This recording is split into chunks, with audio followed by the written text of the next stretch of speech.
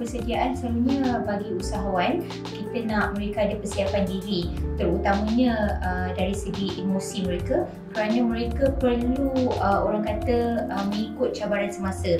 Cabaran semasa kita sekarang di mana semua usahawan berada dalam keadaan norma baru uh, berhadapan dengan COVID-19.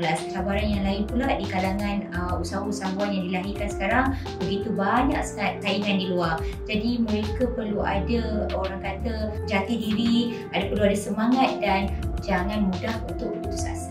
Okey, yang keduanya, usahawan-usahawan perlu dapatkan ilmu tentang perniagaan. Okey, sama ada bersama mentor secara percuma maupun berbayar dan juga di platform-platform digital yang sekarang senang diperolehi di hujung jari. Ataupun boleh datang kepada kita di Usanita, layari website kita di www.usanita.com. Okey, yang terakhir, uh, kena kenal pasti perniagaan apa yang nak anda ceburi mengikut uh, kecenderungan bisnes ataupun minat anda dalam perniagaan yang anda nak lakukan.